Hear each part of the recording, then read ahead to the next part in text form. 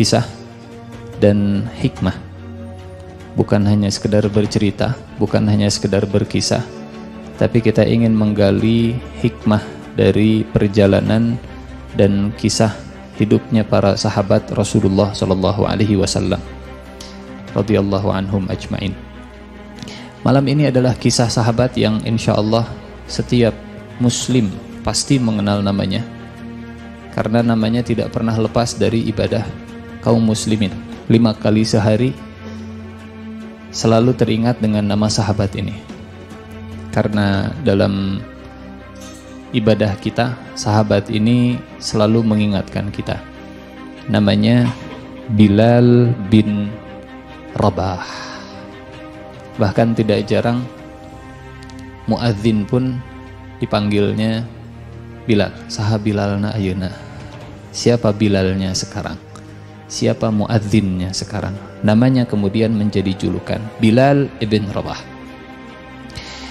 Hadirin rahimakumullah Bapak dan Ibu yang saya muliakan dalam mempelajari kisah hidupnya para sahabat saya menyarankan atau ada banyak referensi yang bisa kita jadikan rujukan.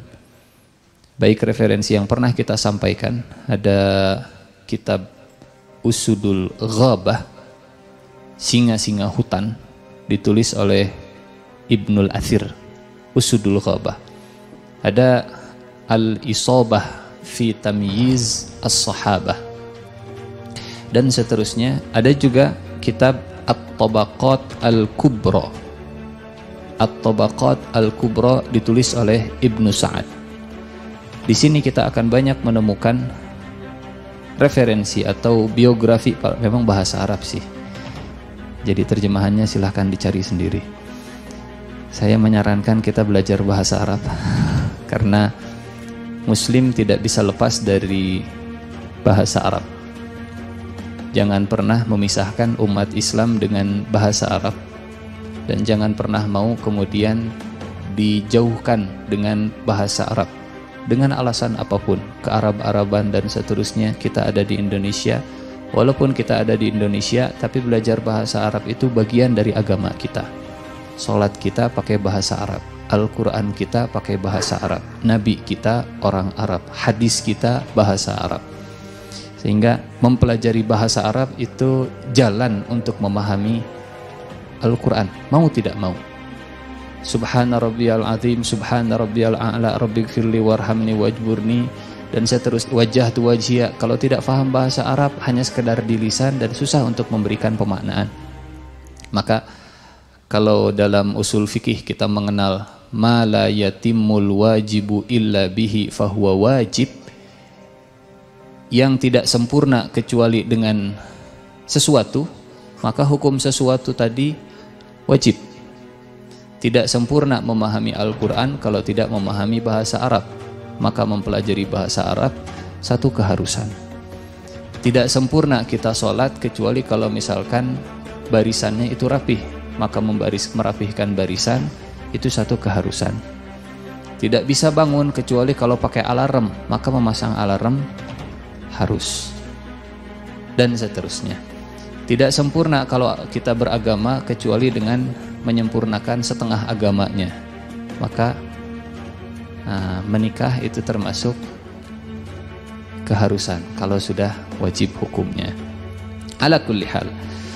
Mempelajari bahasa Arab bagian dari agama kita jadi jangan pernah pisahkan umat Islam dengan dalih apa pun dengan alasan apa pun dengan bahasa dengan bahasa Arab. Karena mayoritas referensi dan rujukan ilmu itu masih dalam bahasa masih dalam bahasa Arab. Banyak memang buku-buku yang diterjemahkan, tapi kalau kita membaca aslinya dengan baca terjemahannya, kadang yang sudah memahami bahasa Arab bisa tahu ini kok feelnya beda ya, rasanya lain ya. Bahasa Arabnya begini, terjemahannya begini, kayaknya lebih enak pakai bahasa aslinya. Hanya kalau diterjemahkan juga susah mencari padanannya. Maka sekali lagi saya menyarankan mudah-mudahan minimal kita punya niat. Yang kedua kita punya semangat. Yang ketiga kita punya agenda dan program program mempelajari bahasa Arab. Di antara rujukan dalam uh, mempelajari sirah para sahabat, kisahnya para sahabat, Tabaqat Al-Kubra ditulis oleh uh, Ibn Sa'ad. Sirah Nabawiyahnya ada di sana bagian pertama Sirah Nabawiyah. Kemudian bagian yang kedua juz yang kedua, juz yang ketiga. Nah, di juz yang ketiga ini kita akan menemukan al-qawlu fi tabaqatil ula wa humul badriyin minal muhajirin wal ansar. Ibnu Sa'ad menulis di juz yang ketiga, bab yang ketiga tentang uh, level pertama dari para sahabat yaitu golongan ahli badar golongan badar orang-orang para sahabat yang ikut dalam perang badar dari golongan muhajirin dan ansor kemudian bab yang berikutnya golongan ahli badar dari kalangan muhajirin dari kalangan muhajirin kemudian dipilah-pilah lagi oleh Ibnu Sa'ad yang dari Bani Hashim, yang dari Bani Abdul Muttalib, yang dari Bani Abdi Syam. Sampai akhirnya ada bab Wamin Bani Taim bin Murrah bin Ka'ab yang dari Bani Taim bin Murrah bin Ka'ab di antaranya Abu Bakar As-Siddiq, Talhah bin Ubaidillah, Suhaib bin Sinan, Amir bin Fuhairah, kemudian yang ke-50 Bilal bin Rabah. Kenapa Bilal bin Rabah dimasukkan oleh Ibnu Sa'ad ke golongan Bani Taim? Padahal Bilal bin Rabah bukan dari suku Bani Taim. Yang dari Bani Taimnya itu hanya Abu Bakar dan Talhah. Sementara Suhaib, Amir bin Fuhairah, Bilal bin Rabah statusnya budak atau maula. Budaknya budak Abu Bakar. Itu yang menjadi sebab kemudian dimasukkan ke golongan Bani Taim. Bani Taim itu kabilah atau sukunya Abu Bakar As-Siddiq. Bilal bin Rabah. Ada lagi misalkan kitab ada banyak sebetulnya rujukan. Tarikh Dimashq, sejarah Damaskus, ditulis oleh Ibnu Asakir. Bilal bin Rabah, Abu Abdul Karim, wa yuqalu Abu Abdullah, wa yuqalu Abu Amr al-Habashi, dan seterusnya. Ala kulli hal, kita mencoba menyampaikan referensi, tapi kalau referensinya di, ya silahkan dirujuk, karena ini ada banyak, panjang, jadi kita mencoba mengutip dari referensi-referensi ini, kemudian setelah itu kita ingin menggali apa sih hikmahnya dari kisah hidup Bilal bin Rabah. Hadirin rahimakumullah, sekilas tentang Bilal bin Rabah. Kurikulum vitae-nya, profil Bilal bin Rabah. Namanya Bilal, bapaknya Rabah, ibunya Humamah. Al-Habashi dari negeri Habasyah. Dari negeri Habasyah itu Ethiopia Afrika bagian timur yang dekat dengan Laut Merah. Raja Najasyi yang menjadi penguasa di masa Rasulullah Sallallahu Alaihi Wasallam. Kunyahnya Abu Abdullah, panggilannya Abu Abdullah. Gelarnya muadzin Rasulullah Sallallahu Alaihi Wasallam. Meskipun muadzin Rasulullah Sallallahu Alaihi Wasallam bukan hanya Bilal, ada beberapa muadzin Rasulullah Shallallahu Alaihi Wasallam, tapi yang pertama jadi muadzin adalah Bilal. Siapa saja muadzin Rasulullah? Bilal. Yang kedua Abdullah bin Ummi Maktum. Yang ketiga Abu Mahdzurah. Abu Mahdzurah. Ada kisah yang luar biasa Abu Mahdzurah ini. Abu Mahdzurah memang uh, orang Mekah aslinya. Abdullah tiga-tiganya orang Mekah. Abdullah bin Ummi Maktum Mekah. Bilal Mekah. Abu Mahdurah juga Mekah. Kisah yang unik tentang Abu Mahdurah saat Fathu Mekah Rasulullah Shallallahu Alaihi Wasallam datang ke Mekah sebagai pemenang. Kemudian Ka'bah itu diperintahkan supaya bersih dari berhala dibersihkan patung Lata, patung Uzza disingkirkan semua patung-patung di sekitar Mekah. Bilal kemudian diminta oleh Rasulullah Bilal naik ke atas Ka'bah azan. Bilal naik ke atas Ka'bah kemudian Bilal azan. Hari kemenangan Nabi Bilal azan di atas Ka'bah. Lewat Abu Mahdurah dengan beberapa orang teman-temannya. Masih muda si Abu Mahdurah Bilal sedang azan. Allahu Akbar. Enakin lah pokoknya saya tidak bisa mengumpamakannya mudah-mudahan di surga kita bisa mendengar suara merdunya Bilal Bilal sedang azan. Allahu Akbar. Abu Mahdurah mendengarkan. Kata Abu Mahdurah. Allahu Akbar. Allahu Akbar. Allah. Abu Mahdurah meniru azannya Bilal. Sambil membuat teman-temannya itu tertawa. Teman-temannya ketawa. Rasulullah menang, Fathu Mekah uh, jadi hari kemenangan, Bilal sedang azan di atas Ka'bah, patung sudah disingkirkan, ada anak muda yang justru malah menertawakan azannya Bilal. Rasulullah dengar. Kata Rasulullah, siapa anak muda itu yang sedang tertawa? Kata para sahabat, laporan, ya Rasulullah, itu Abu Mahzurah dan teman-temannya. Oh, Abu Mahzurah, panggil Abu Mahzurah. Kata Abu Mahdurah, fa'alimtu anni maktul. Saya sadar kalau saya pasti akan dibunuh. Fathu Mekah, saya malah ngejek azannya Bilal.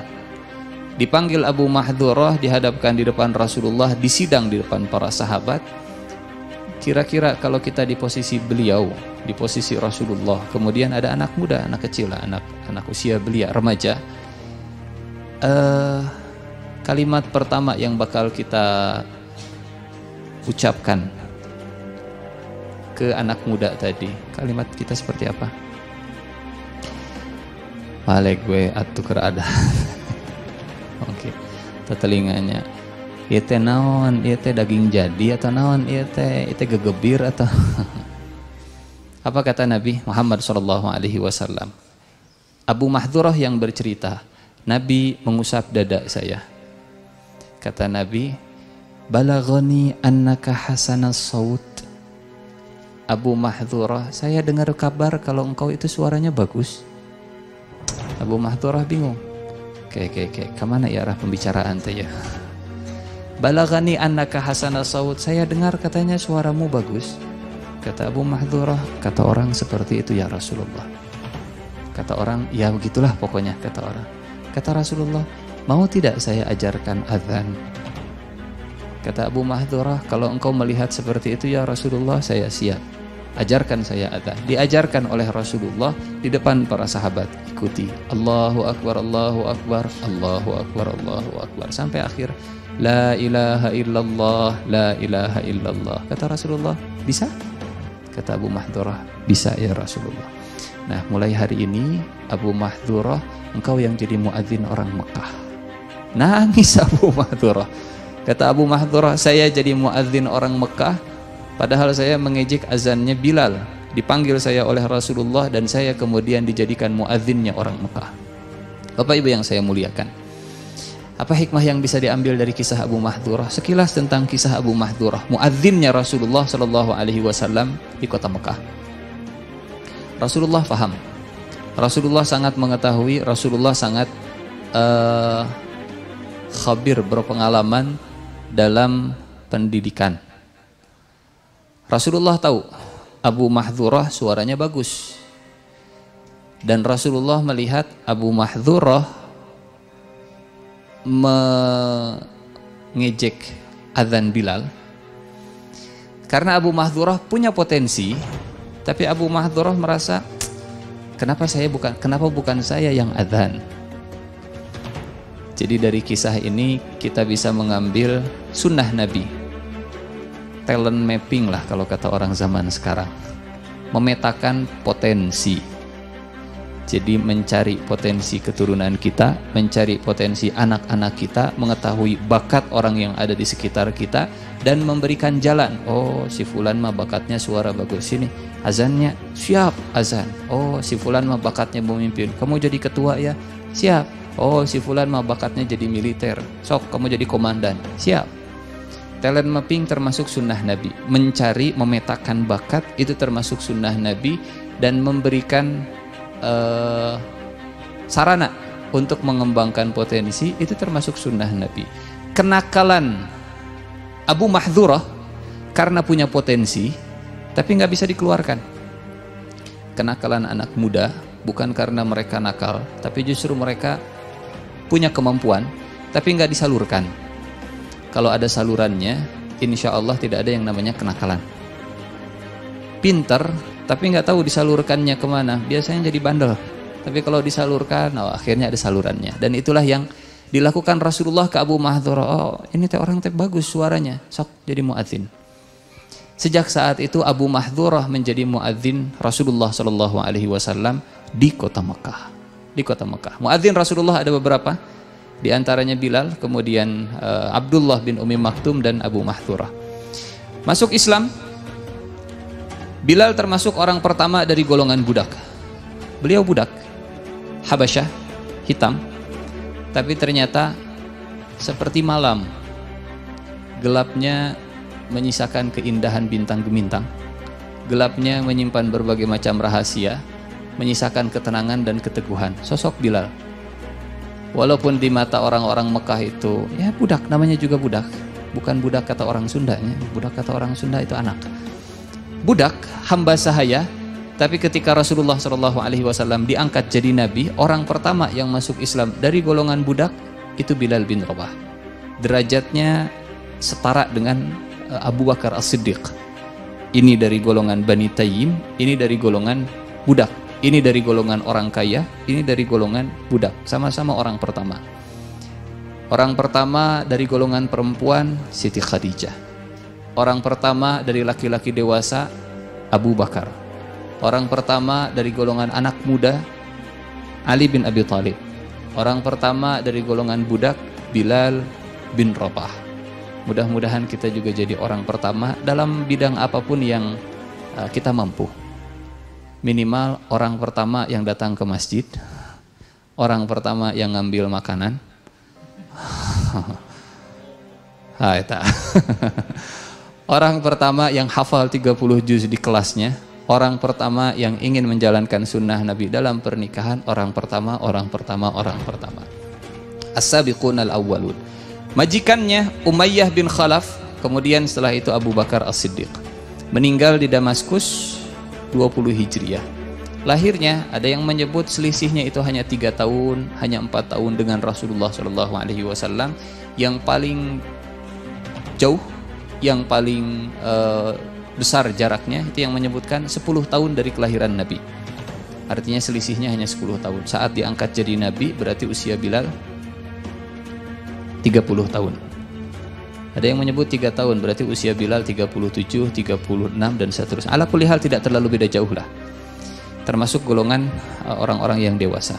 Nah, kita masuk ke referensi-referensi tadi, hadis-hadis tadi. Dalam hadis Muslim nomor ke-832 dari Abi Umamah, an Abi Umamah qala qala Amr bin Abasah As-Sulami. Amr bin Abasah bercerita, Kuntu wa ana fil jahiliyah. Dulu waktu saya di zaman jahiliyah. Adhunnu anna nasa ala dalalah. Saya merasa orang-orang itu semuanya sesat. Jadi ternyata yang namanya fitrah walaupun mereka belum tersentuh hidayah, kalau fitrahnya masih terjaga, dia punya alarm, dia punya feeling. Ini sesat nih kayaknya nih. Belum bersentuhan dengan Nabi, belum bersentuhan dengan wahyu, belum bersentuhan dengan Al-Quran, tapi karena fitrahnya terjaga, dia bisa menilai ana wa fil kuntu ana wa fil jahiliyah adhunnun nas ala dhalalah. Maka menjaga fitrah itu di antara bagian dari menjaga menjaga Islam. Kullu mauludin yuladu alal fitrah. Fa'abawa setiap anak dilahirkan dalam kondisi fitrah. Kedua orang tuanya lah yang menjadikan anak jadi Yahudi jadi Majusi jadi Nasrani. Tapi tidak menyebut jadi Muslim yuhawwidanihi au yunassiranihi au yumajjisanihi. Tapi Rasulullah tidak menyebut au yumaslimanihi. Kedua orang tuanya lah yang menjadikan anak menjadi muslim. Kenapa? Karena fitrah itu muslim. Karena menjaga fitrah itu menjaga keislaman. Karena yang fitrahnya terjaga akan mudah untuk masuk Islamnya. Yang fitrahnya rusak agak susah dia untuk menerima Islam. Kata Amr bin Abbasah kuntu wa ana fil jahiliyah. Di zaman jahiliyah dia bisa menilai beliau bisa menilai manusia itu sesat. Wa annahum laisu ala syai'in wa hum ya'budunal authan penyembahan patung dan berhala itu nggak ada apa-apanya. Fitrah kalau jangankan jangankan manusia. Yang namanya dalam tanda petik fitrah sebutlah kalau memang namanya fitrah. Naluri insting. Itu sudah uh, diinstal oleh Allah Subhanahu wa taala ke setiap makhluk, bahkan ke hewan. Fitrahnya kalau dapat sesuatu dengan cara yang halal, hati tenang. Itu fitrah. Jangankan manusia, hewan pun, kucing pun begitu. Nah, dikasih ayam, dikasih ikan, dikasih makanan. Dia makan tenang di samping kita. Kalau kita usir, hush, hush, hush, paling malik melong. Cena mere. Kalau bisa ngomong. Tapi kalau dia datang sembunyi-sembunyi, ngendap-ngendap, ngambil, digebrik, digebrik di di apa? Digebah, digebah. Dikagetkan sedikit saja, hush, dia langsung pergi. Kucing saja punya naluri seperti itu. Kalau di manusia sebutlah namanya fitrah. Maka kata Rasulullah Shallallahu Alaihi Wasallam, kalau seandainya kita tidak tahu atau seandainya kita tahu si fulan bilang begini, si fulan bilang begini, dalilnya begini, dalilnya begini, tapi beda pendapat, maka tanyakan kepada hati. Istafti qalbaka, mintalah fatwa kepada hatimu. Setelah kita cari, ini dalilnya kata si fulan, kata si fulan begini, tapi kok beda ya? Istafti qalbak, mana yang membuat hati kita jauh lebih tenang? Selama hati, selama fitrah itu masih bersih, nggak akan bisa dibohongi. Dan kalau kita nggak tahu, nanya nggak bisa, kemudian hukum tidak tahu, ini teh dosa atau tidak? Allah sudah memberikan alarm. Kata Rasulullah Shallallahu Alaihi Wasallam, yang namanya dosa itu yang bikin hati gelisah dan kita nggak mau dilihat oleh orang wal ithmu ma haka fi nafsika wa karihta an yattali'a alaihi nas kata beliau. Saya nggak tahu itu hukumnya halal atau haramnya mau nanya kita nggak tahu siapa yang harus ditanya. Tinggal tanyakan ke hati. Gelisah tinggalkan. Kalau orang lihat malu nggak ya? Eh, nggak enak sih kayaknya dilihat orang. Tinggalkan tinggalkan. Ala kulli hal Amr bin Abbasah menilai manusia saat itu dalam kondisi sesat Fasami'tu birajulin bi Makkah yukhbiru akhbaran faqa'adtu ala rahilati. Kemudian saya mendengar di Mekah itu ada berita, ada kabar.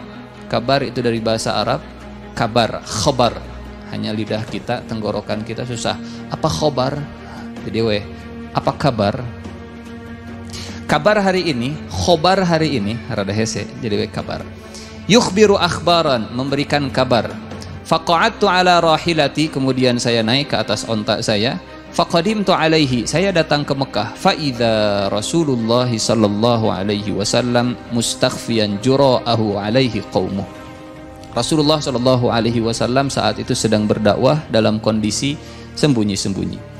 Fatalattaftu hatta dakhaltu alaihi bi Makkah. Kemudian saya masuk bertemu dengan beliau di Makkah. Fakultu lahu. Saya nanya, kata Amr bin Abbasah, "Ma anta? Anda ini siapa?" Kata beliau, "Ana nabi." Saya nabi.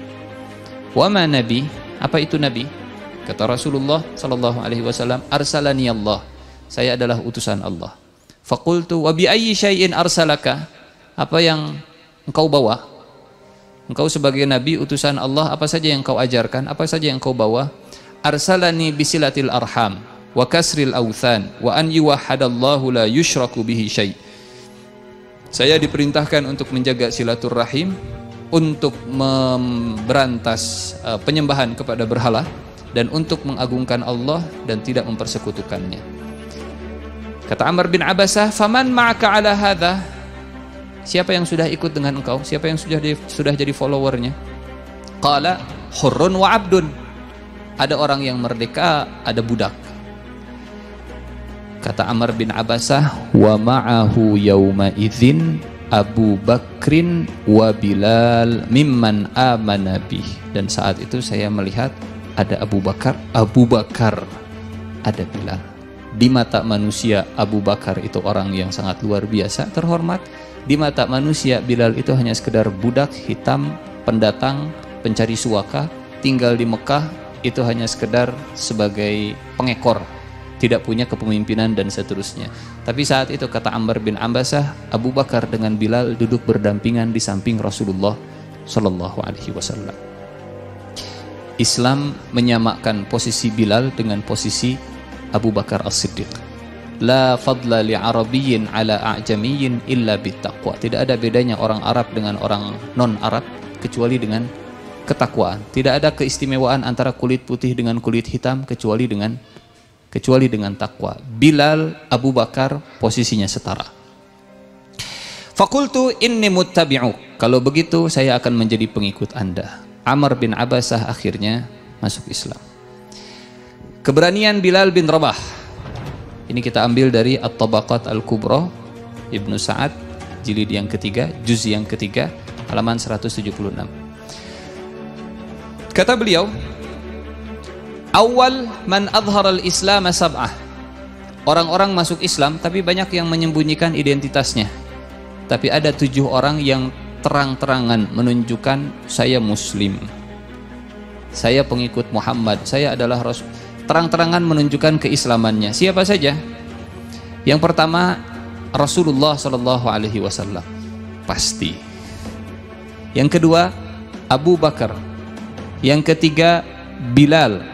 Yang keempat Khabbab, yang kelima Suhaib, yang keenam Ammar, yang ketujuh Sumayyah. Ibunya Ammar. Tujuh orang pertama yang menunjukkan Islam dengan terang-terangan, bangga dengan keislamannya, tidak malu-malu. Kalau sekarang Alhamdulillah kita sudah Muslim. Rasanya kalau saya menunjukkan saya Muslim, itu biasa. Karena mayoritas di Indonesia Muslim. Tapi yang bisa kita ambil keberanian untuk menjalankan keislamannya, keberanian, kepedean untuk mengatakan saya percaya diri untuk menjalankan agama Islam itu yang bisa kita ambil pelajaran dari sosok Abu Bakar As-Siddiq. Oh saya berpakaian seperti ini karena saya cinta kepada Rasulullah Sallallahu Alaihi Wasallam.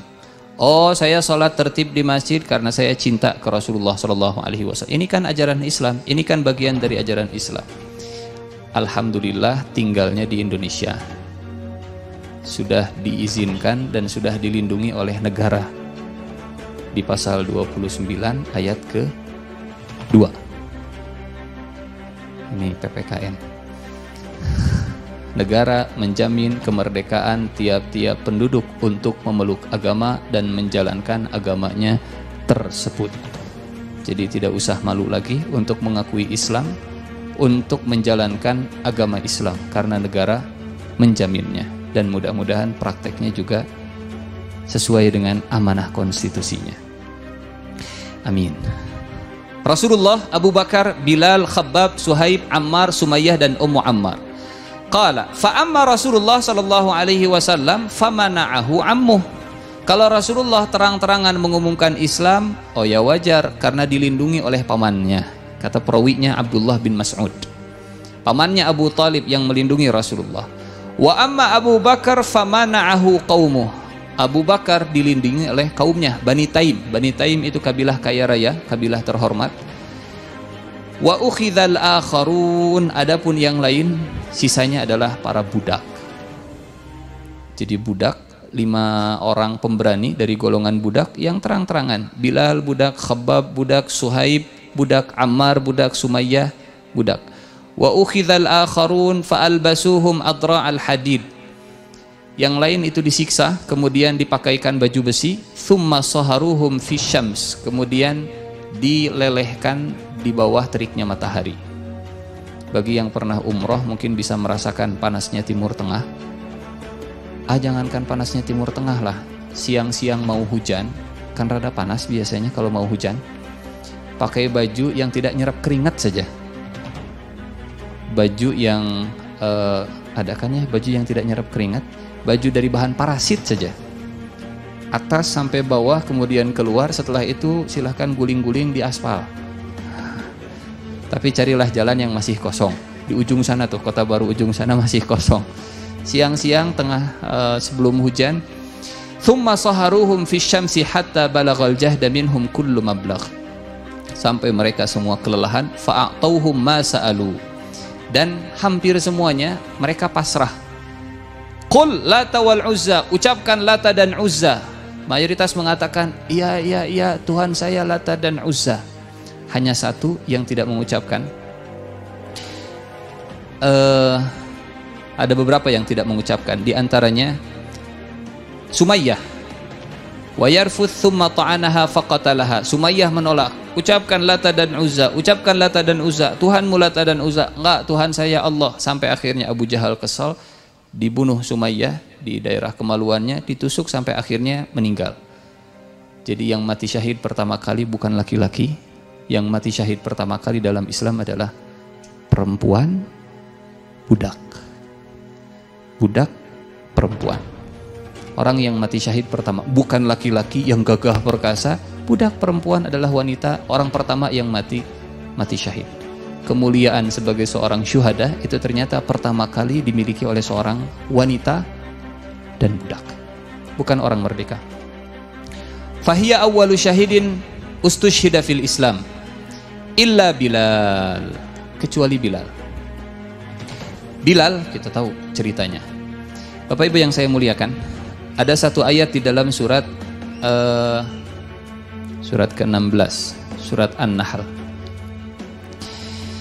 illa man ukriha wa qalbuhu mutmainnun bil iman surat An-Nahl ayat ke-106 kata Allah begini A'udzu billahi minasyaitonir rajim. Bismillahirrahmanirrahim.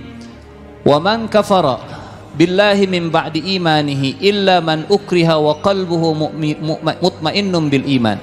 Barang siapa yang kufur kepada Allah sesudah dia beriman kecuali orang yang dipaksa kafir padahal hatinya tetap dalam keadaan tenang dalam keadaan iman. Bilal, Khabbab, Ammar, Suhaib semuanya disiksa Ibunya Ammar, Sumayyah, enggak, enggak, enggak dibunuh. Sisanya di antaranya Ammar bin Yasir dipaksa. Katakan kalau Tuhanmu itu Lata dan Uzza. Kata Ammar, iya, iya, iya Tuhan saya Lata dan Uzza. Ibunya kaget. Ammar, Ammar, hati-hati. Kata Ammar, Tuhan saya Lata dan Uzza. Orang-orang ketawa. Sudah bebas, bebas. Ammar bebas. Ibunya tetap bertahan enggak. Saat itu para sahabat kemudian rame. Kata para sahabat, Ammar kufur. Ammar mengucapkan kalimat kufur. Para sahabat kemudian memandang Ammar bin Yasir dengan pandangan yang tidak seperti biasanya. Datang Ammar ke Rasulullah Shallallahu Alaihi Wasallam nangis, ya Rasulullah, ya Rasulullah. Kata Rasulullah ada apa? Diceritakan oleh Ammar, ya Rasulullah, ibu saya disiksa, bapak saya disiksa, saya disiksa, saya dipaksa ya Rasulullah mengeluarkan kalimat kekufuran. Kata Rasulullah, kaifa tajidu qalbak? Bagaimana kondisi hatimu saat itu wahai Ammar? Kata Ammar, mutmainnun bil iman ya Rasulullah. Hati saya tenang ya Rasulullah dalam keadaan iman. Dibela oleh Rasulullah, dibela oleh Allah, turun ayat ini. Yang jadi pertanyaan, Allah Subhanahu wa taala sudah memberikan rukhsah keringanan. Orang yang disiksa kemudian dipaksa mengeluarkan kalimat kufur, maka dia tidak boleh dihukumi sebagai orang yang murtad. Yang jadi pertanyaan, kenapa Bilal bertahan? Padahal kalau Bilal misalkan, Qul Lata wal Uzza. Ya, ya, ya, ya Tuhan saya Lata dan Uzza. Selamat Bilal. Boleh? Al-Quran membelanya. Membela Ammar bin Yasir. Ternyata ada dua pilihan. Kalau mau mengambil rukhsah, silahkan. Yang penting hatinya tenang dalam keadaan iman. Tapi kalau mengambil azimah juga silahkan. Toh kalaupun meninggal, meninggal seperti Sumayyah, meninggal dalam kondisi syahid. Uh, Bilal memilih jalan yang kedua.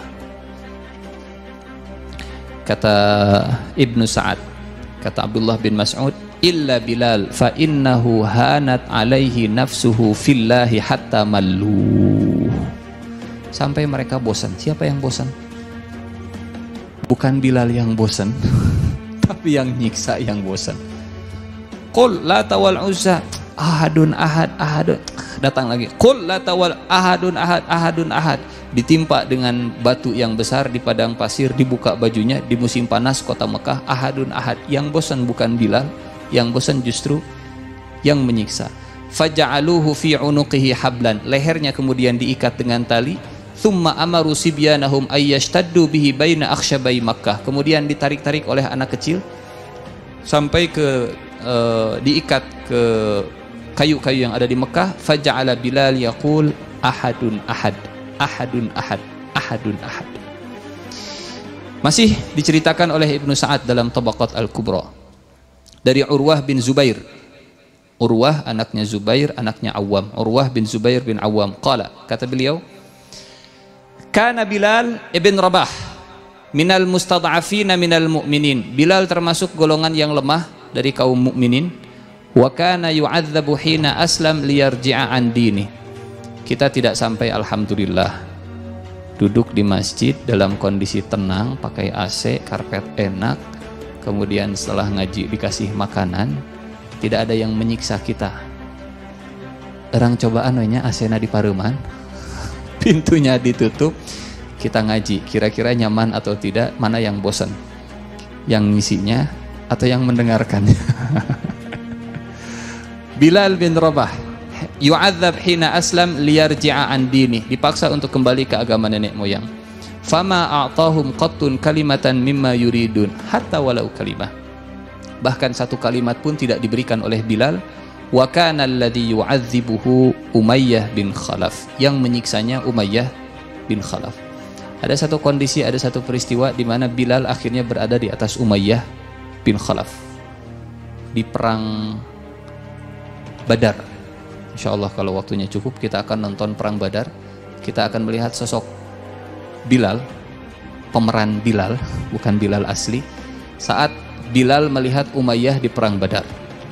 Kalau dulu Bilal itu disiksa, pada akhirnya kemudian Umayyah mati di tangan Bilal bin Rabah. Bapak dan Ibu yang dirahmati Allah Subhanahu wa taala, di antara nikmat terbesar yang Allah berikan kepada umat Islam adalah kesamaan antara hamba-hambanya dan Allah Subhanahu wa taala tidak melihat rupa, wajah, fisik, penampilan dan seterusnya. Casing Innallaha la yanzuru ila suwarikum wala ila ajsamikum walakin yanzuru ila qulubikum wa a'malikum. Allah tidak melihat penampilan kalian. Allah tidak melihat jasad kalian, fisik kalian, kulit kalian, tinggi badan kalian, rambut kalian, ras kalian, etnis kalian, bangsa kalian, paspor kalian. Tapi yang Allah lihat hati dan amal. Seandainya penilaian di sisi Allah Subhanahu wa taala karena penampilan ada banyak orang yang penampilannya dia dapatkan bukan karena usaha dia. Seandainya ada hisab di akhirat kunaon hidung, kunaon pendek, kunaon dan seterusnya, mungkin banyak yang celaka dan tidak adil kalau seandainya kita dihisap dengan sesuatu yang kita dapat seperti ini. Lahir dari kondisi orang tua yang berkulit gelap, lahir akhirnya kita juga berkulit gelap. Kemudian kita ditanya, kenapa kulitnya gelap? Nah, bukan usaha saya, bukan usaha kita. Tapi Allah Subhanahu wa taala menghisab dan memandang seseorang hatinya dan amalnya. Dua hal yang bisa diusahakan, dua hal yang bisa dimaksimalkan, dua hal yang bisa dikerjakan. Dan Bilal adalah contoh dalam uh, keistimewaan di mata manusia mungkin dia terhina, di mata manusia dia mungkin biasa-biasa saja, di mata manusia sering kali dipanggil sebagai Ibn Sauda, anak orang hitam, tapi di sisi Allah Subhanahu wa taala Bilal adalah orang yang paling bertakwa, orang bertakwa, orang yang istimewa. Keistimewaan Bilal pertama tadi apa saja keistimewaan Bilal?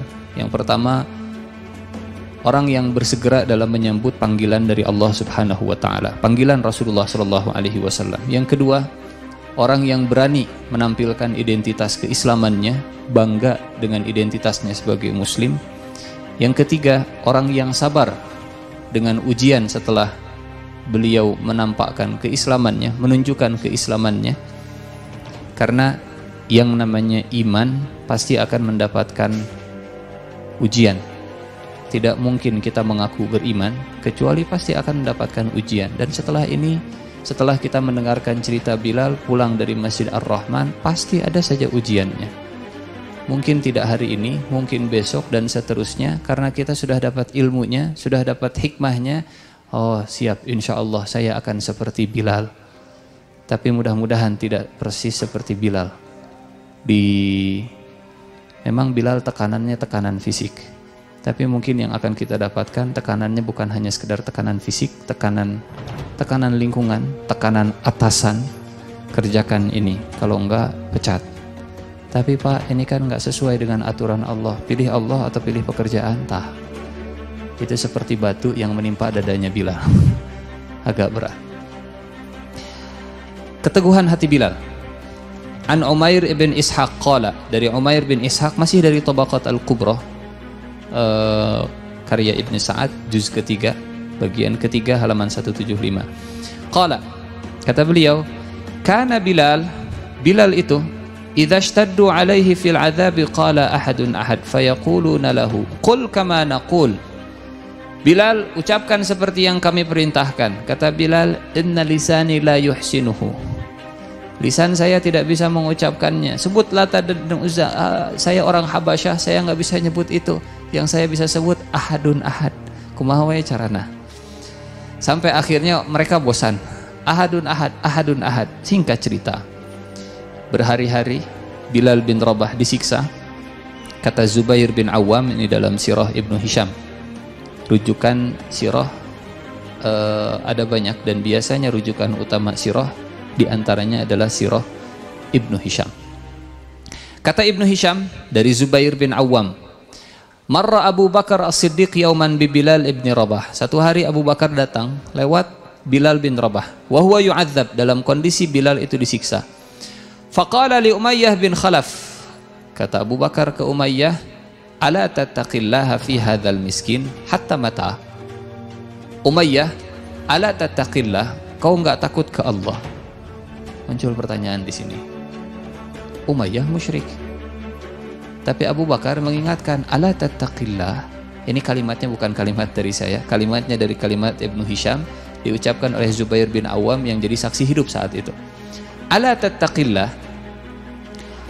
Apakah Umayyah bin Khalaf muslim? Musyrik.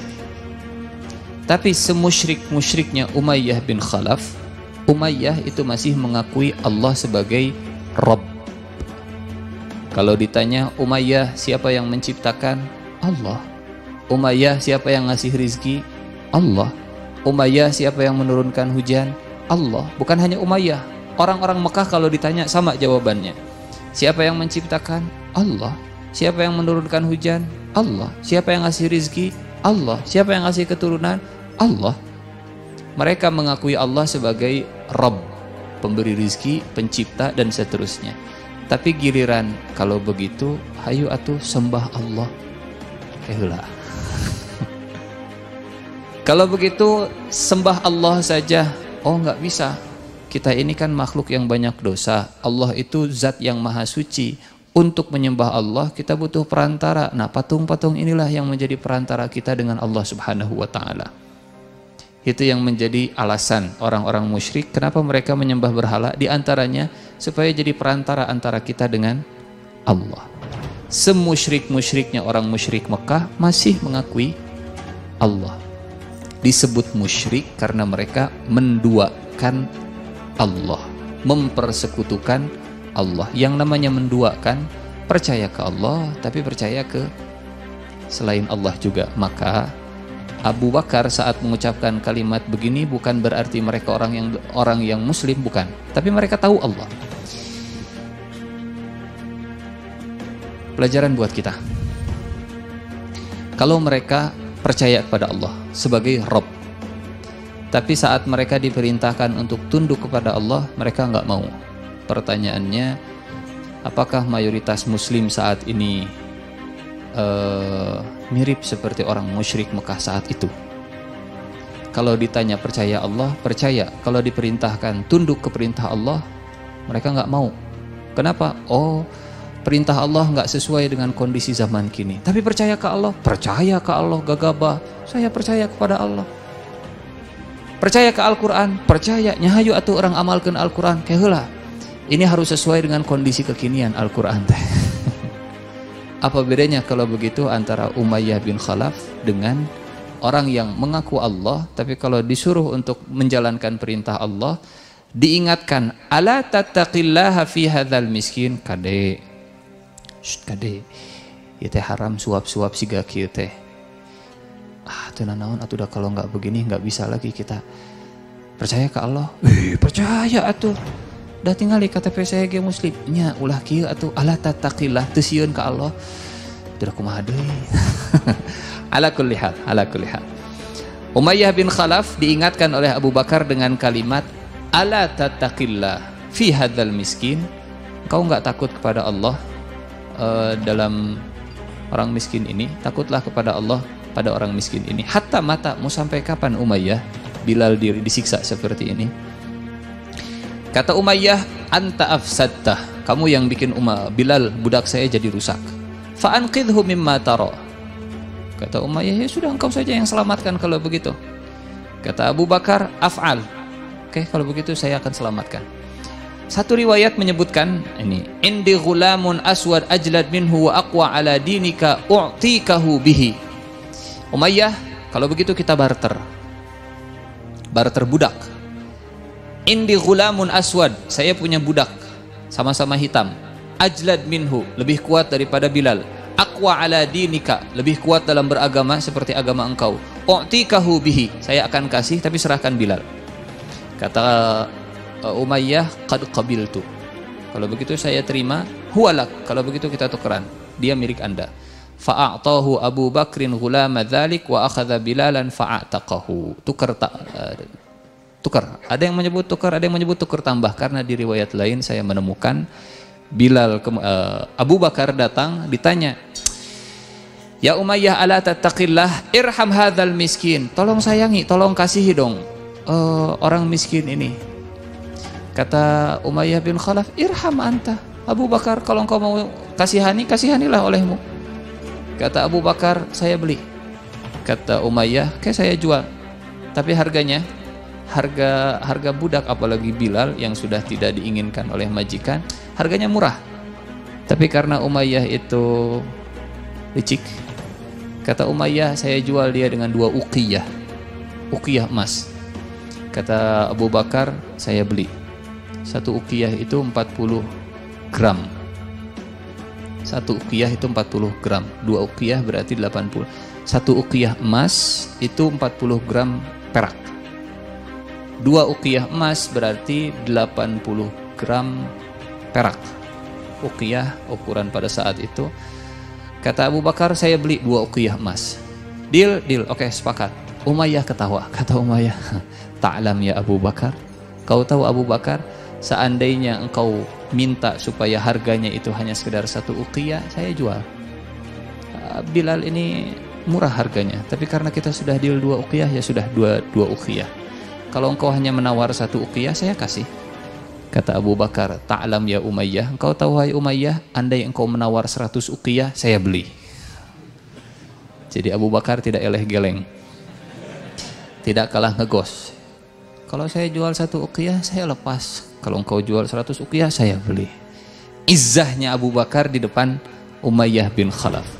Demi persaudaraan, kemudian di, di bawah, kata Abu Bakar, Hadha akhi, ini saudara saya. Umayyah kemudian menertawakan. engkau sayyid, dia budak, engkau sebut dia sebagai saudara, Hadha akhi, kata Abu Bakar, ini saudara saya.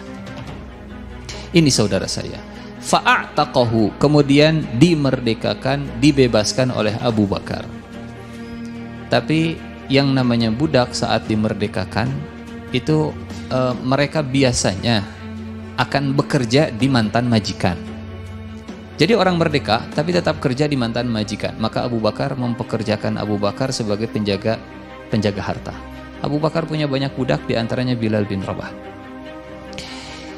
ilmu Bilal apa saja tadi tentang sosok Bilal? Pertama, bersegera. Yang kedua, berani. Yang ketiga, sabar. Yang keempat, teguh. Yang kelima, ilmu Bilal.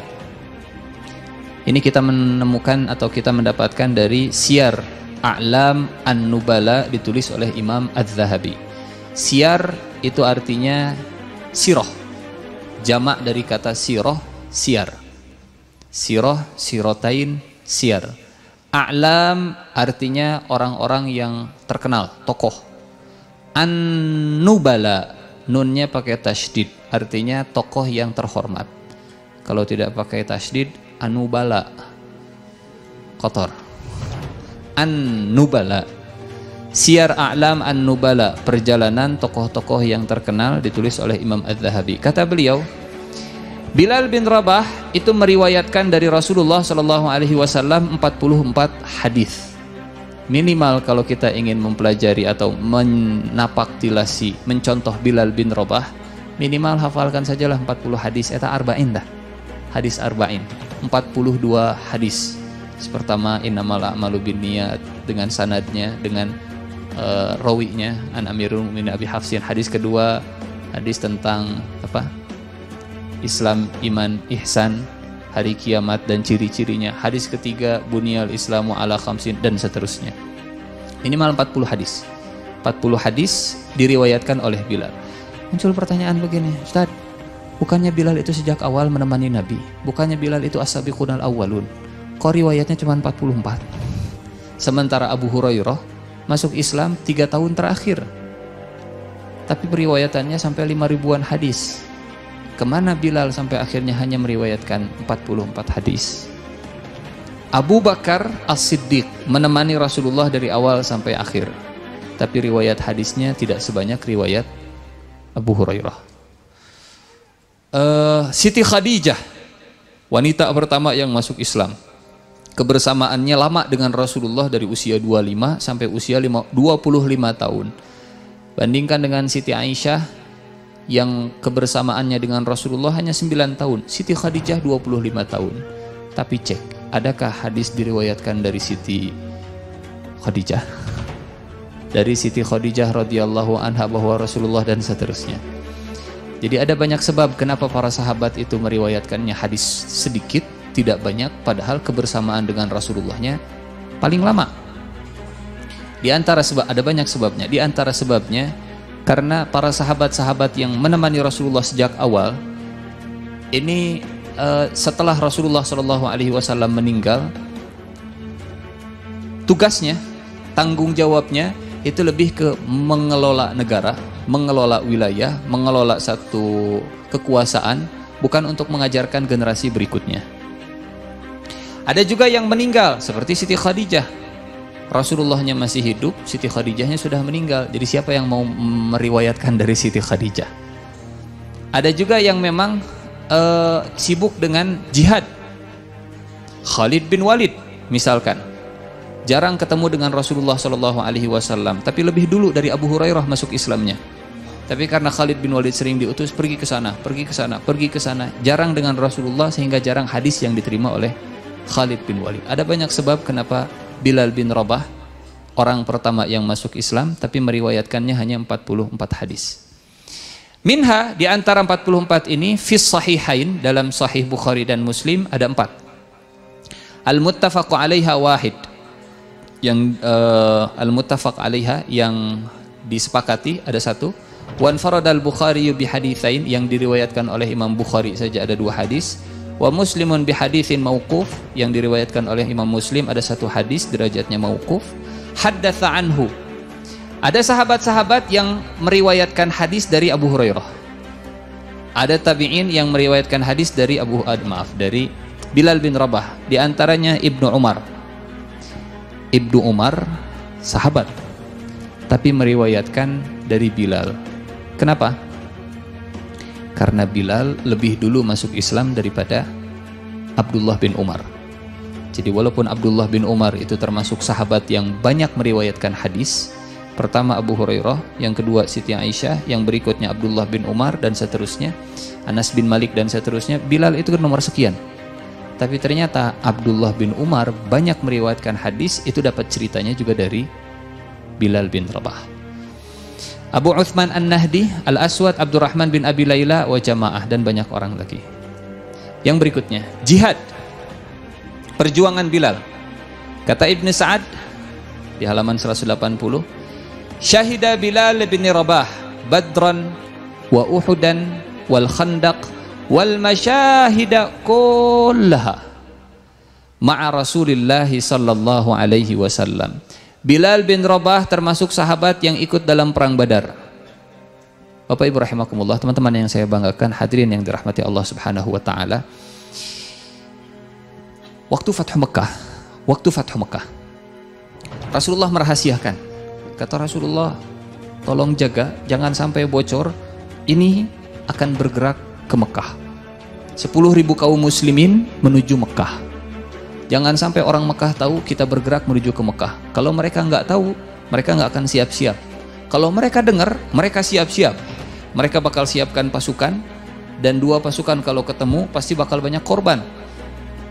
Rahasia, biarkan mereka surprise. 10 ribu itu tiba-tiba sudah ada di pinggir kota Mekah. Mereka nggak punya persiapan, akhirnya mereka menyerah. Oke. Tiba-tiba ada sahabat nulis surat Rasulullah sedang menyiapkan pasukan menuju Mekah. Siap-siap. Digulung suratnya, disimpan di rambut seorang budak wanita, disuruh budak wanitanya untuk pergi pergi ke Mekah, sampaikan surat ini ke si fulan dan ke si fulan. Sahabat ini namanya Hatib bin Abi Balta'ah. Pergi budak wanita tadi ke Mekah, Rasulullah sedang siap-siap Tiba-tiba turun malaikat Jibril. Wahai Rasulullah, segera utus para sahabat, kejar perempuan, cirinya begini, temukan surat di rambutnya. Dikirimlah Ali bin Abi Thalib, Mikdad dan beberapa sahabat, kata Rasulullah, pergi cari budak perempuan, cirinya seperti ini, kemudian ambil surat di rambutnya. Datang Ali bin Abi Thalib, kemudian dicegat, eh perempuan, serahkan surat. Kata perempuan tadi, saya nggak megang surat.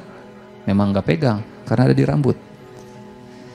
Persis seperti seorang ayah kalau ditanya sama anaknya, Papa mau jajan, Papa nggak megang uang. Memang nggak megang, adanya di dompet. Papa nggak megang uang, saya nggak megang surat. Kata Ali bin Abi Thalib, lidahnya Rasulullah lebih saya percaya daripada lidah engkau. La tu'tiyannal kitab aw la nujarridannaka thiyab. Serahkan kitab atau kami akan telanjangi. Kata perempuan tadi, tunggu sebentar. Dikeluarkan suratnya. Silahkan. Dibawa suratnya ke Rasulullah ke Madinah. Dibuka suratnya ternyata dari Hatib bin Abi Balta'ah. Rasulullah sudah menyiapkan pasukan bergerak ke Mekah. Dipanggil Hatib bin Abi Balta'ah. Hatib duduk. Mahadha ya Hatib? Suratnya dilempar. Maha apa-apa ini wahai Hatib? Di sidang Hatib sahabat Rasulullah di depan Abu Bakar, Umar dan para sahabat yang lain Punten, yang seperti ini namanya dalam bahasa sekarang apa? Konspirasi, pengkhianatan, khianat uzma, membocorkan rahasia negara. Apa hukumannya kalau membocorkan rahasia negara? Mahadha ya Hatib. Apa-apaan ini wahai Hatib? Umar bin Khattab emosi kata Umar ya Rasulullah da'ni aqta raqabata hadzal munafik ya Rasulullah izinkan saya memenggal lehernya orang munafik ini. Kata Rasulullah da'u biarkan biarkan. Apa kata Rasulullah sallallahu alaihi wasallam? Hatib termasuk sahabat yang ikut dalam perang Badar. Mudah-mudahan keikut sertaannya dalam perang Badar menjadi sebab ampunan dosa atas kesalahannya hari ini jadi keistimewaan orang para sahabat yang ikut dalam perang Badar, dosa besar kata Rasulullah, la'allallaha yattali'u ila ahli Badar. Boleh boleh jadi Allah Subhanahu wa taala melihat para ahli Badar kemudian kata Allah, if'alu mas kerjakan apa yang kalian lakukan maka aku akan mengampuni dosa-dosa kalian. Itu sebabnya tadi kita tampilkan Tobakot Ibnu Sa'ad, Tobakot Kubro Ibnu Sa'ad. Para sahabat itu mereka Tobakot itu artinya jenjang Kenapa disebut jenjang? Karena memang para sahabat walaupun mereka itu satu satu generasi, tapi levelnya beda-beda. Levelnya beda-beda, tobakot, e, seperti piramida. Yang paling tinggi 10 sahabat yang dijamin masuk surga. 10 sahabat yang dijamin pernah kita bahas di pertemuan-pertemuan awal-awal Abu Bakar, Umar, Utsman, Ali, Tolhah, Zubair, Sa'ad bin Abi Waqqas uh, dan seterusnya. Sepuluh sahabat yang dijamin masuk surga itu tobakoh ula. Uh, tingkatan yang pertama. Tobakot yang kedua, tingkatan yang kedua Badriyun. Orang-orang yang ikut dalam perang Badar. Dan uh, Bilal bin Rabah bukan hanya ikut dalam perang Badar, dalam perang Uhud, dalam perang Khandaq, wal masyahidakullaha dan semua perang-perang bersama Rasulullah Shallallahu alaihi wasallam. Bukan hanya perang, masyahid. Masyahid itu semua peristiwa. Kebersamaan dengan Rasulullah, Bilal selalu ikut. Kenapa? Karena Bilal itu muadzinnya Rasulullah Shallallahu alaihi wasallam. Ke mana pun Rasulullah pergi, Bilal ikut. Bilal sudah masuk waktu sholat, azan. Bilal azan. Bilal asar, azan. Bilal azan. Bilal maghrib, azan. azan. Terus Bilal. Wal masyahid, kullaha, semuanya.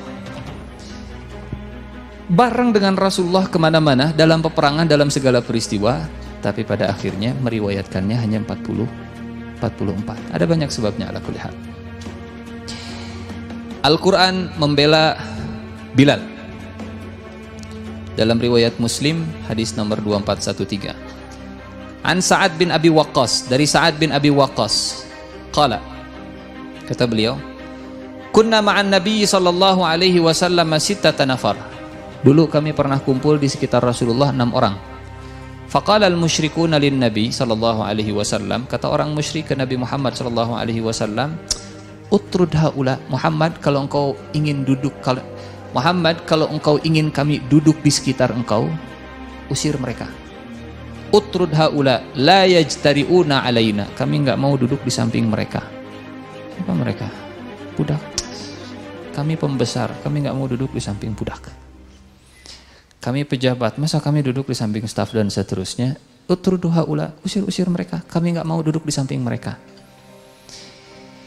Qala wa kuntu Sa'ad bin Abi Waqqas Wabnu Mas'ud seorang uh, penggembala domba warajulun min Hudzail ada sahabat dari golongan Hudzail kabilah Hudzail wa Bilal ada Bilal warajulani lastu usammihima. Dan ada dua orang laki-laki laki yang tidak tahu namanya. Fawaqa'a fi nafsi Rasulillah sallallahu alaihi wasallam ma Allahu an yaqa'a fahaddatha nafsahu fa anzalallahu azza wa jalla. Kalimat tadi bikin Rasulullah nggak nyaman nggak enak. Ya Rasul Muhammad usir mereka. Kami pengen duduk usir mereka. Dibela oleh Allah Subhanahu wa taala surat Al-An'am ayat 52. ولا تطرد الذين يدعون ربهم بالغداة والعشي يريدون وجهه Wahai Rasulullah, jangan engkau mengusir orang yang senantiasa berdoa kepada Tuhannya di pagi dan sore hari dan mereka selalu mengharapkan kemuliaan Allah, wajah Allah Subhanahu wa taala. Jangan karena ingin duduk dengan pembesar, kemudian mengusir orang-orang kecil. Jangan karena ingin kehadiran seorang pejabat tinggi, akhirnya orang kecil kemudian orang yang padahal si fulan teh biasa hadir di baris pertama, baris pertama, rajin baris pertama, tapi karena akan kedatangan seorang pembesar, punten-punten mundur, mundur, mundur. Ini tempatnya si fulan, ini tempatnya. Wala tatrudil ladina yad'una rabbahum bil ghadati wal ashiyyi yuriduna wajhah. Padahal beliau itu biasa. Yang bersangkutan itu biasa. Kalau hadir setiap ada kajian selalu hadir di barisan yang terdepan. Sekarang karena ada pembesar mau datang yang biasa hadir di baris terdepan disuruh mundur ke belakang. Kenapa? Ada pem wala nabi pernah dilarang. Orang yang biasa duduk di sekitar engkau bil ghadati wal asyiyi yuriduna wajhah jangan diusir, jangan dijauhkan hanya karena engkau ingin duduk di sekitar pembesar. Kalau dulu ini kelakuan orang musyrik, jangan sampai kelakuan seperti ini kemudian terjadi di kalangan kaum muslim. Kalau memang saya biasa soft pertama, tapi tiba-tiba datang uh, pembesar dan saya memang softnya di sini, tapi kemudian kalau diusir jangan. Kalau minta izin lain cerita.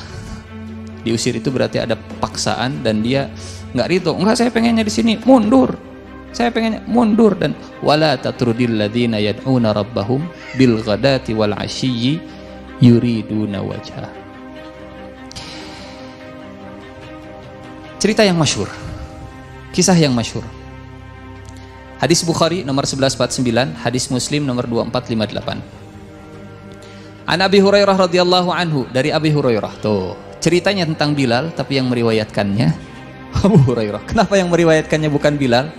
Ah, itu di antara di antara sebab kenapa periwayatannya itu tidak sebanyak Abu Hurairah. Dari Abu Hurairah anna Nabiya sallallahu alaihi wasallam qala li Bilalin inda salatil fajri. Nabi bertanya kepada Bilal di waktu salat fajar. Tokohnya Bilal dengan Rasulullah, tapi periwayatannya Abu Hurairah. Ya Bilal, wahai Bilal, hadithni, tolong ceritakan kepada saya. Biarja dari kata roja. Roja itu harapan. Bilal, ceritakanlah kepada saya biarja amalin. Amal yang benar-benar engkau jadikan harapan. Amal yang benar-benar engkau jadikan kebanggaan amil tahu fil Islam yang engkau kerjakan di dalam Islam rasa-rasanya Bilal yang sudah disiksa dan sabar saja itu sudah jadi amal andalan Bilal yang sudah teguh saja dengan kalimat tauhidnya itu sudah jadi amal andalan tapi saat ditanya oleh Rasulullah Shallallahu Alaihi Wasallam hadithni bi arja amalin amil tahu fil Islam ceritakan amal yang paling kau banggakan wahai Bilal Jawaban Bilal bukan, Ya Rasulullah, saya adalah orang pertama yang masuk Islam. Bukan itu jawabannya. Ya Rasulullah, saya adalah orang yang sabar saat disiksa oleh Umayyah. Ya Rasulullah, saya termasuk sahabat yang ikut dalam perang Badar. Tapi Bilal memberikan jawaban yang Masya Allah luar biasa. Kalau ditimpa dengan batu mungkin nggak bisa jadi teladan buat banyak orang. Kalau misalkan jadi orang pertama masuk Islam mungkin nggak bisa jadi teladan bagi banyak orang. Tapi Bilal Uh, menyampaikan satu amalan yang ringan, sederhana, tapi bisa diteladani oleh banyak orang. Kata Bilal, kata Rasulullah Shallallahu Alaihi Wasallam, Fa inni sami'tu daffana 'alaika baina yadayya fil jannah. Karena saya mendengarkan suara terompahmu, sendalmu itu ada di surga. Barangkali ada yang pernah kehilangan sendal. Mudah-mudahan sudah menunggunya di surga. Maka kerjakan amalan Bilal. Kata Bilal, "Ma amiltu amalan saya tidak mengerjakan satu amal arja indi yang paling saya harapkan balasannya anni lam atatahhar tahuran fi sa'ati lailin aw naharin illa sallaitu bidzalika tuhur ma kutiba li an usalliya Bilal senantiasa menjaga wudhunya dan selesai wudhu kalau misalkan hadas langsung memperbaiki wudhu memperbaharui wudhu punten Bilal tinggalnya di mana padang pasir. Bagaimana air di padang pasir? Heshe. Tapi Bilal tetap menjaga wudhu. Padahal air susah. Kita tinggal di mana? Bandung. Air bagaimana? Banjir. Banjir. Sumber air di mana-mana, melimpah, hujan setiap hari. Mudah-mudahan bisa menjaga wudhu batal sedikit wudhu lagi. Batal sedikit wudhu lagi. Apalagi sekarang alat sudah banyak. Misalkan pakai apa sekarang sudah ada spray-spray yang gitulah disimpan airnya. Aduh kita bawa spraynya eh, nggak uh, ada tempat wudhu semprot. Nah, diwudukan semprot alat ada banyak sumber mata air ada banyak tapi mudah-mudahan amalan Bilal bisa kita lakukan Usahakan setiap kira keluar dari rumah, pergi dalam kondisi wudhu. Di kantor saya yakin ada toiletnya, ada airnya, batal wudhu. Dulu, dulu, dulu, dulu, saya memahami menjaga wudhu itu, pokoknya mah kalau mau batal, tahan, jaga wudhu. Jaga wudhu. Ternyata tidak demikian. Menjaga wudhu itu bukan berarti nggak boleh hadas. Menjaga wudhu itu ya kalau mau buang angin, buang angin. Tapi setelah itu wudhu lagi. Kalau mulas-mulas ditahan jaga wudhu jaga wudhu jaga capek sendiri. Kata Bilal saya selalu menjaga wudhu usahakan keluar dari masjid jaga wudhu mau tidur jaga wudhu berangkat dari rumah jaga wudhu berangkat ngantor jaga wudhu di perjalanan jaga wudhu naik motor kalau tidak memungkinkan jaga wudhu maksimal. Tapi kalau misalkan mulas ke angin-angin ya biasanya kelakuan pengendara motor kalau misalkan dia sudah tidak terjaga wudhunya pas lagi naik motor itu agak ngangkat sedikit Wudhunya sudah batal berarti. Ada kuliah. Amalan harapan bila. Ah, yang berikutnya. Makanan di ketiak bila. Kira-kira seperti apa? Tapi ketiak Bilal itu ternyata jauh lebih mulia daripada siapa pun. Ini kata Rasulullah. Hadis sahih riwayat uh, Tirmidzi.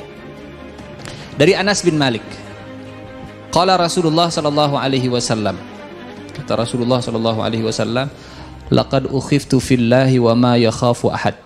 Saya itu pernah ditakut-takuti di jalan Allah padahal saat itu tidak ada orang yang pernah ditakut-takuti. Wa ma yukhafu ahad.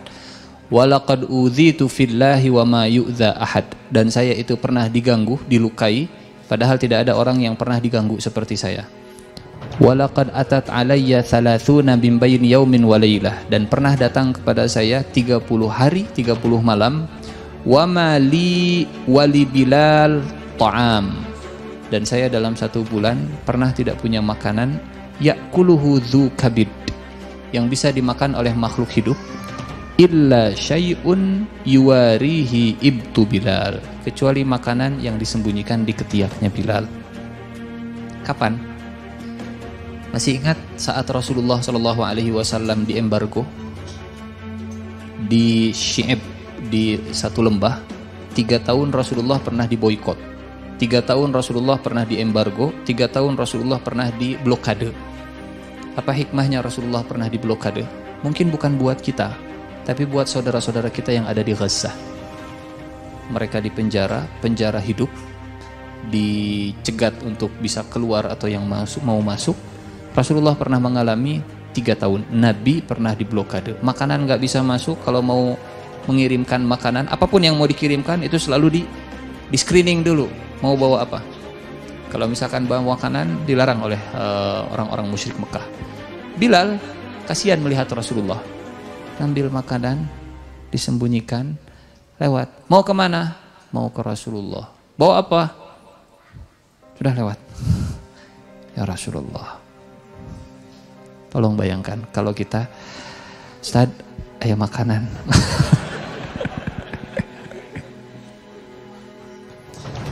Tapi ketiaknya Bilal itu bukan seperti ketiak kita. Bilal, Bilal bin Rabah, budak Habasyah. Tapi ketiaknya itu jadi tempat di mana Rasulullah Shallallahu Alaihi Wasallam uh, mengambil makanan dan mengisi perutnya. Rasulullah Rasulullah Shallallahu saya baru bisa bercerita. Saat punten itu ayat wah.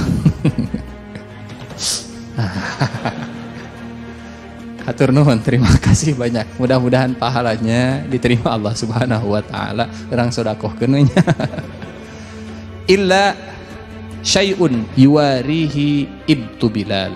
Kecuali sedikit makanan yang disembunyikan di bawah ketiaknya Bilal. Hadisnya sahih.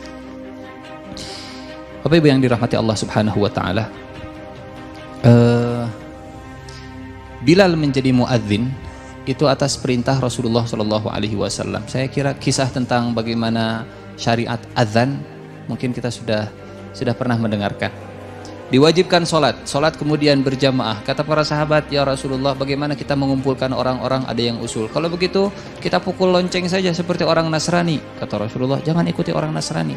Kalau begitu kita tiup trompet saja seperti orang Yahudi. Jangan ikut-ikutan seperti orang Yahudi, kata Rasulullah. Lalu seperti apa ya Rasulullah? Para sahabat mikir, karena banyak mikir, akhirnya ke bawah tidur, mimpi. Di antara yang mimpi, Abdullah bin Zaid. Sahabat namanya Abdullah bin Zaid. Dalam mimpinya, dia melihat ada orang yang membimbing, kalau engkau ingin mengumpulkan orang untuk sholat, jangan pakai lonceng dalam mimpi. Jangan pakai trompet, tapi baca kalimat ini. Kalimat apa? Diajarkan. Allahu Akbar, Allahu Akbar, Allahu Akbar, Allahu Akbar. Syadu an la ilaha illallah, Pagi hari, di antara kebiasaan Rasulullah Shallallahu Alaihi Wasallam selesai sholat subuh sambil nunggu matahari terbit ngobrol dengan para sahabat. Kadang di antara obrolannya ada yang mimpi tadi malam. Kadang di antara obrolannya ada yang sudah sodako hari ini.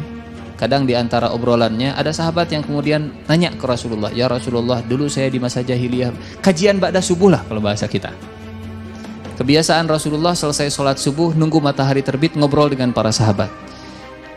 Di antara sahabat ada yang ditanya, ada yang mimpi, kata Abdullah bin Zaid, saya mimpi ya Rasulullah, tadi malam ketemu dengan orang, jangan dengan lonceng, jangan dengan trompet, tapi dengan kalimat ini. Rasulullah kemudian memperhatikan, kata Rasulullah, ini mimpi yang baik.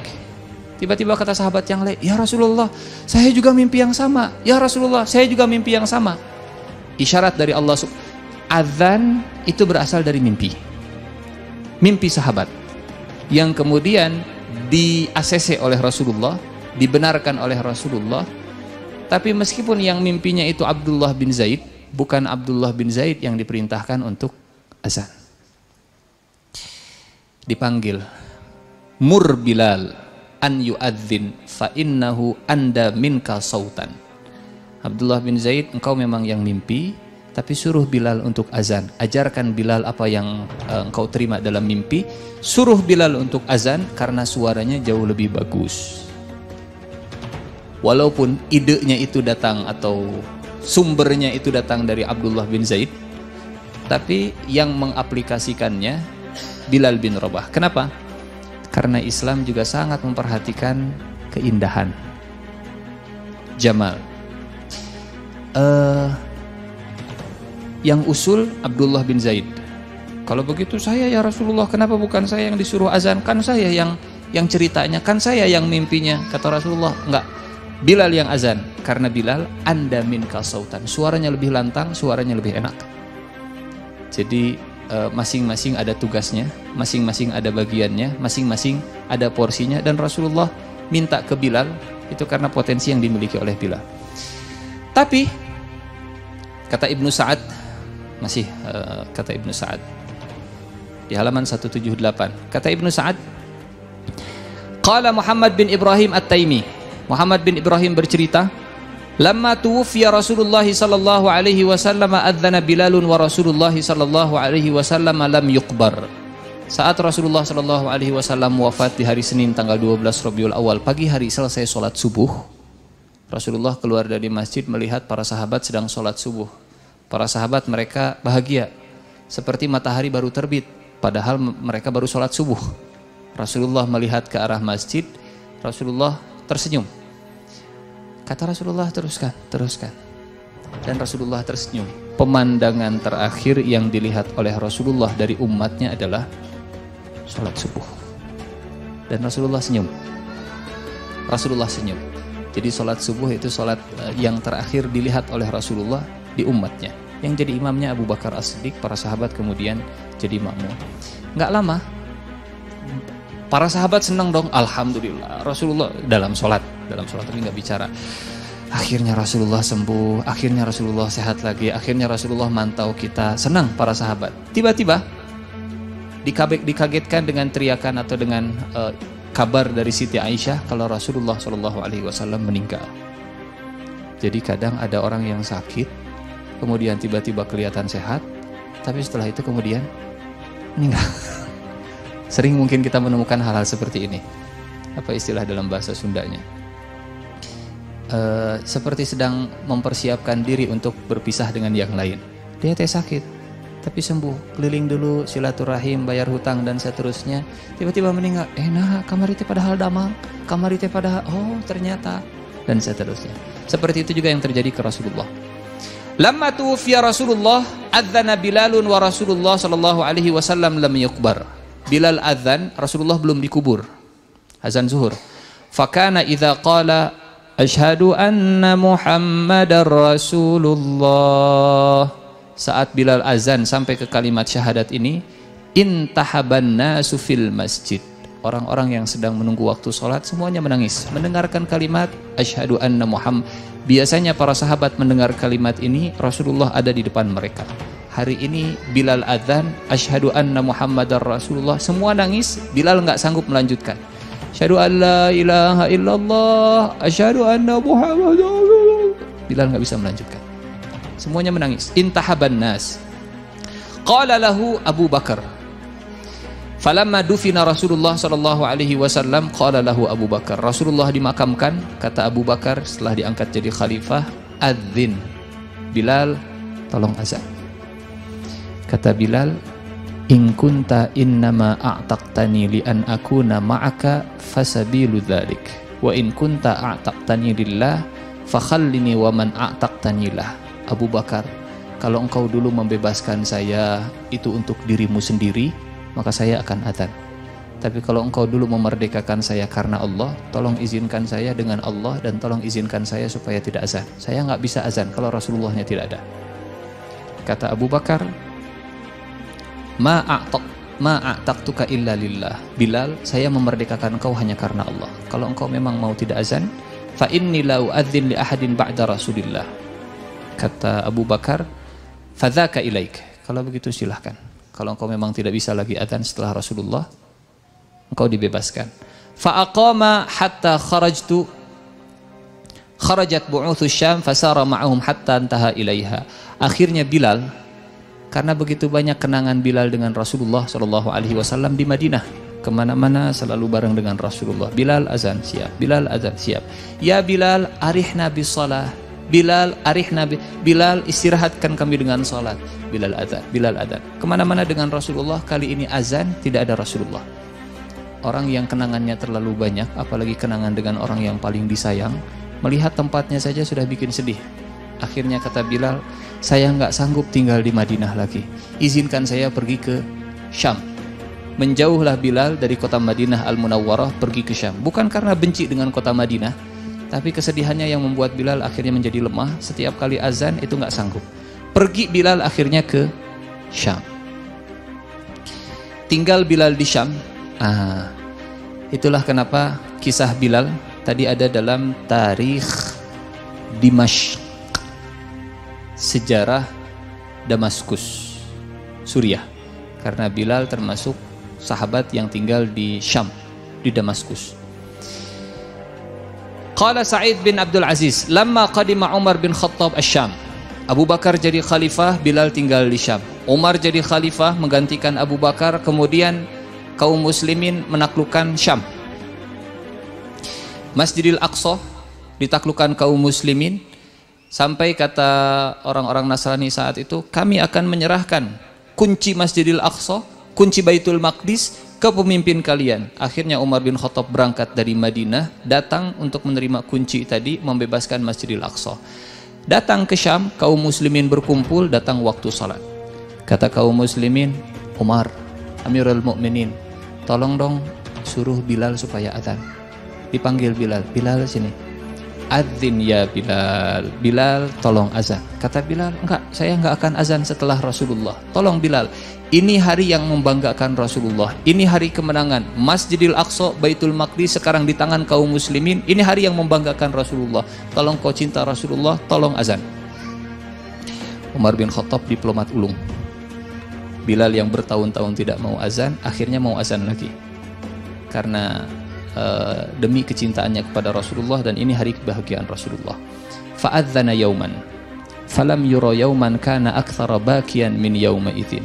Dan ternyata sama, masih sama, feelingnya masih sama. Setelah Abu Bakar, kemudian Umar, Bilal azan, Asyhadu an la ilaha illallah.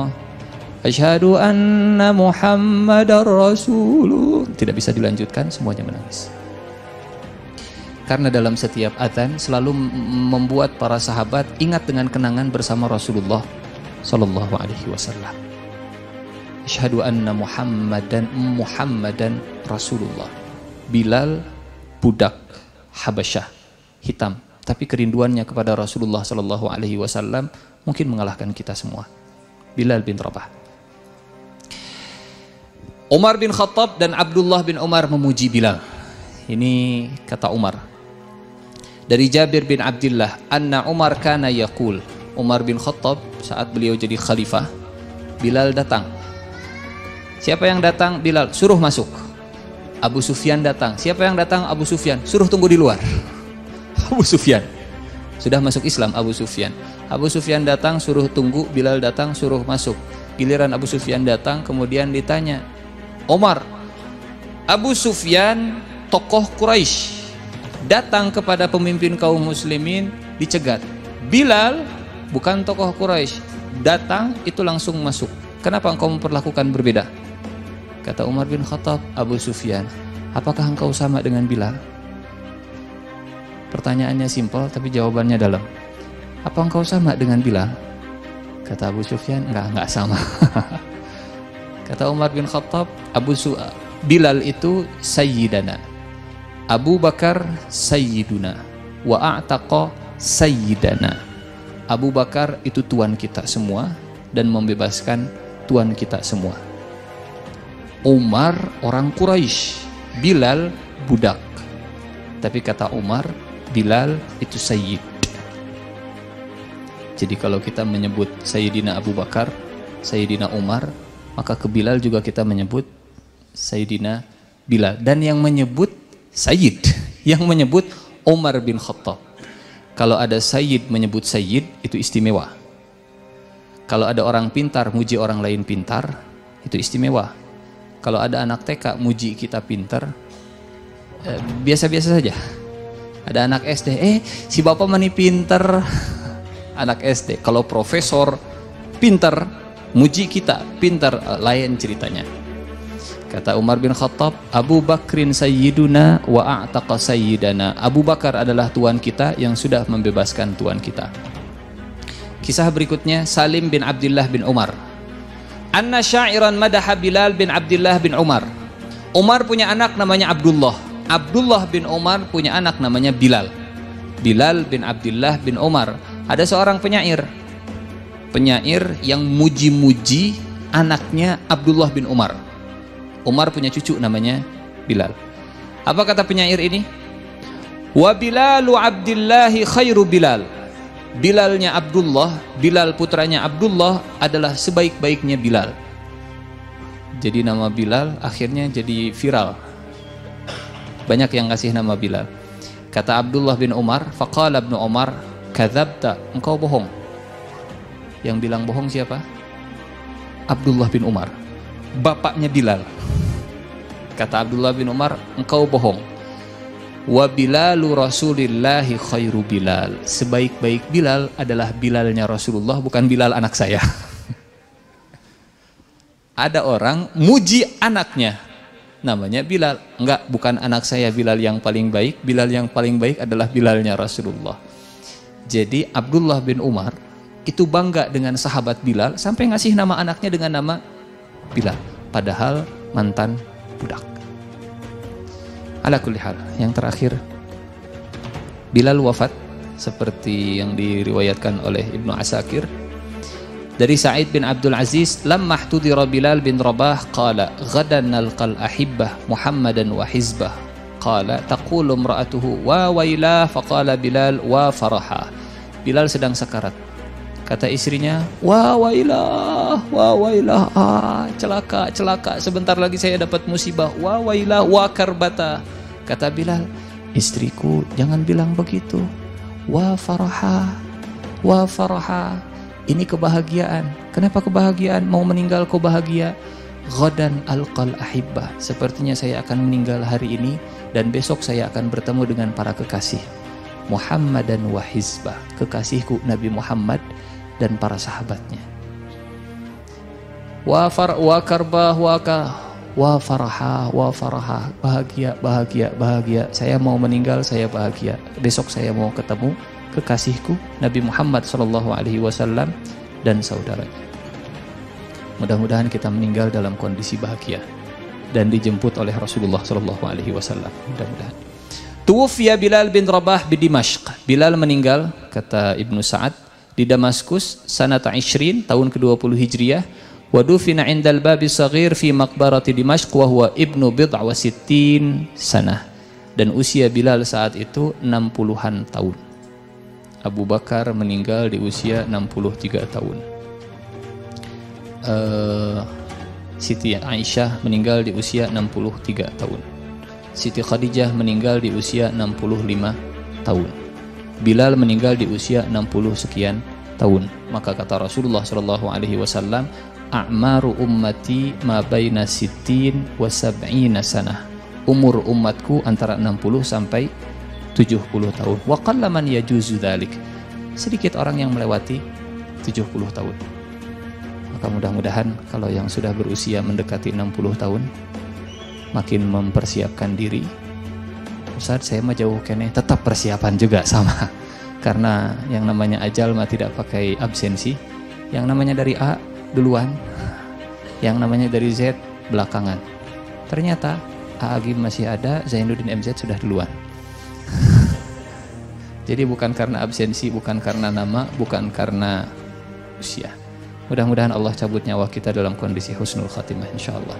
Ini saja mungkin yang bisa disampaikan kisah dan hikmah dari perjalanan Bilal. Sekali lagi mudah-mudahan Allah pertemukan kita dengan para sahabat dengan Rasulullah Shallallahu Alaihi Wasallam. Kita akhiri dengan istighfar dan doa kifaratul majlis. Astaghfirullahaladzim, astaghfirullahaladzim, astaghfirullahaladzim. Subhanakallahumma wa bihamdika asyhadu an la ilaha illa anta astaghfiruka wa atubu ilaik. Aqulu qawli hadza wa astaghfirullah li wa lakum. Assalamualaikum warahmatullahi wabarakatuh.